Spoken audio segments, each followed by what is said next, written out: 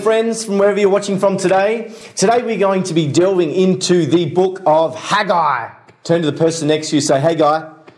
How you going? Yes, we're looking at Haggai. If you went there on the weekend, the story of Haggai, two chapters, is a great little story which takes place just after the Babylonian exile, where the people come out, and the context is that the people jump straight in, obey God, start rebuilding the temple that was destroyed, the temple that was the basis and the meeting place of their worship. So they start rebuilding that thing, but then opposition comes along, difficulty comes along, pressure comes along, and they give up on what God had called them to do, which meant they also were giving up on their worship. And so Haggai steps into the space that this there'd been a lapse, a stagnation, going through the motions for nearly 20 years and Haggai steps in and he critiques them uh, about this and, and that they were giving God their leftovers. And in, in verse 4 it says, Hey, here you guys are. You're, why are you living in these luxurious houses while God's temple lays in ruin? And he criticizes them and he says, What's going on? And it's almost like, you know, in my house, um, dinner time gets really messy. We, we eat together around our kitchen bench and our kids are terrible. You know, food's going everywhere. They'll eat half the stuff on their plate, half is on the floor. But what we do after dinner, got two Labradors, uh, beautiful Labradors. They come in, and what, what their dinner is essentially is coming in, cleaning up all the leftovers on the floor. And, uh, and so they get all the leftovers. Haggai's essentially saying this. He's saying, What you're giving to God in worship and obedience is like what my dogs were getting for dinner. You're giving, you're sorting out yourself first and giving God the leftovers. And so he's talking to them about their misplaced priorities. And man, isn't this a challenge for us today? Is to, and how much do we need a, is it worthwhile evaluating out the priorities in our life and how we are investing our, our time, our talents, and our treasure, and whether how we're doing that actually matches up with the priorities that we want to see in God? Are they eternal priorities? Are they good priorities? Or, or have some things crept in that's, that's actually been going against um, loving God and living in His kingdom?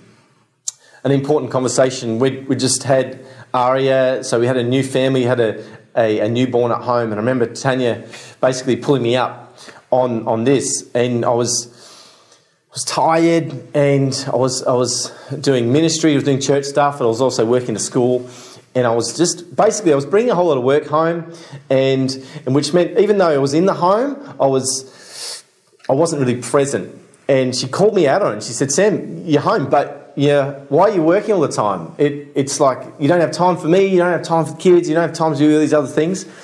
And what it showed me is that something had happened in my priorities that I'd let these things creep in and become more important than spending time with my wife and my family. Amen. It's not that we're bad people when we do this, it just means that we need to reevaluate these things all the time and make room for God in our life and make sure the things that we care about the most actually we are making time for and rightly prioritizing them in your life. So, what are your priorities? Are you making time for God? The Bible says, Seek first the kingdom, his kingdom and his righteousness, and all these things will be given unto you. And we know that there are things, you know, do not, the Bible talks about in Matthew 6, do not store up for yourself things that will um, perish or fade, or where moth and rust destroy, but treasure up for yourself treasure in heaven. Are you doing that in your life? Are you prioritizing those good things? You know, for me, it's so important to, when I have times of solitude when I go for walks or exercise, go for runs, or have time driving, having time out of the busy schedule. That often in these times where I have a chance to pray, spend time, quiet time with God, is that I can actually test my motives, evaluate my priorities, and actually allow God to shape my loves and, and sort some of those things out in my life. And when I'm not having that, I find that's where those things creep in.